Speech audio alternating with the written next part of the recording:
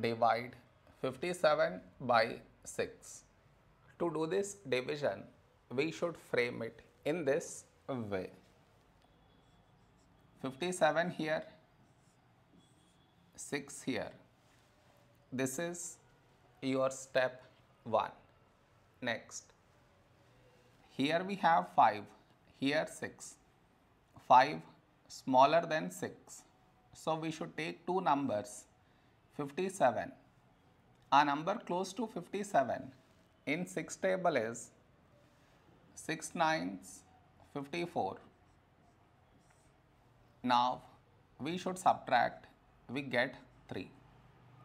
After this, no more numbers to bring it down. So what we do is, we put dot, take 0. So 30. When do we get 30? In 6 table, 6 fives 30. Now we subtract, we get 0. We got remainder 0. So this is our quotient